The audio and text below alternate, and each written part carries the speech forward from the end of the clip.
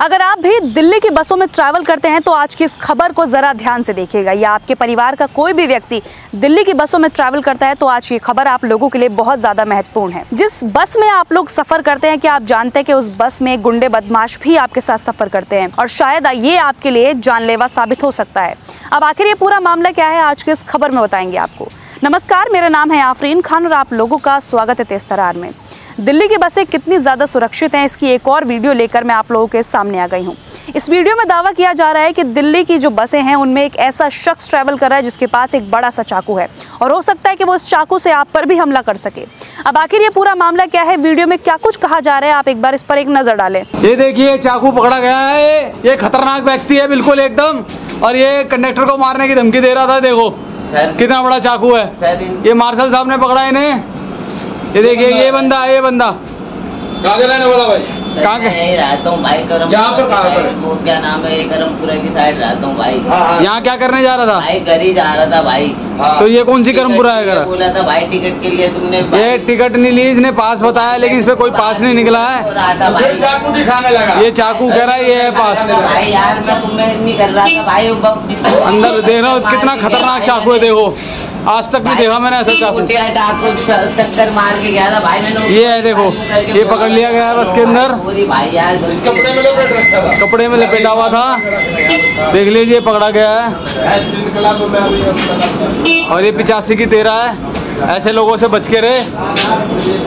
किसी को भी मार सकते हैं ये मार्शल साहब और कंडक्टर साहब की सराहना करनी पड़ेगी, जिन्होंने इसे पकड़ा है, बड़ी बहादुरी से लड़ते हुए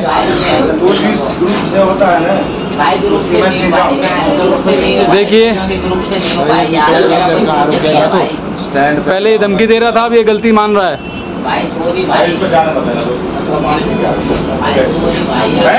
ये पकड़ा गया है, पचासी की तेरह ए में करमपुरा पे।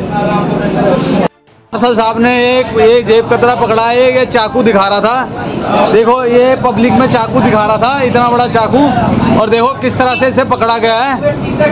देखिए ये ये मार्शल जी की और ये कंडक्टर जी की बड़ी सराहना करनी पड़ेगी जिन्होंने पकड़ा इसे। देखिए यही है वो। हाँ। और मारने की धमकी दे रहा था। भाई हाँ, आदमी भाई पकड़ा। ये भाई चढ़े हैं शादीपुर से। इनको मारने की धमकी दे रहा था। ये पकड़ लिया गया है। ये है देखो जी। इससे सावधान रहना भाई। भाई मैंने भाई कुछ करा छोड़िया भाई यार भाई। अरे कोई बात ये भाई साहब है इसको मारने की धमकी दी गई जब भाग के पकड़ा। है हाँ, हाँ, हाँ। वो आकर और बस में चढ़ते ही कहने लगा पास है। और पास मांगा गया तो पास नहीं बता रहा चक्कू दिखा रहा है। इसको चक्कू दिखा रहा है। हाँ। चाकू दिखा रहा था भाई? हाँ। जब हम दोनों ने भाग के पकड़े। भाग के पकड़ा भाग के पकड़े भाई।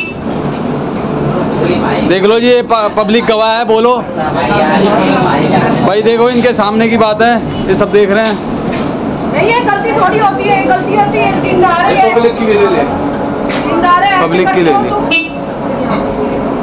इसके साथ और भी होंगे भाई यार मेरा भाई बहुत दूर पड़ता भाई यार प्लीज़ भाई। भाई पिचासी की तेरह है ये अब आप लोग कमेंट करके बताइए कि क्या वाकई में दिल्ली की बसों में ट्रैवल करना सुरक्षित रह गया है? क्या इसके लिए कोई ऐसा तरीका यहाँ पर देखना चाहिए कि ऐसे लोग बसों में ना ट्रैवल कर पाए? अब आखिर आपकी क्या राय है? कमेंट बॉक्स में बताना बिल्कुल भी मत भूलिएगा, क्योंकि आप जानते हैं कि आपकी राय हमारे लिए बहुत ज़्यादा महत्वपूर्ण है। आज के लिए इतना ही। मुझे दीजिए इजाज़त और आप लोग देखते रहिए तेज तरार।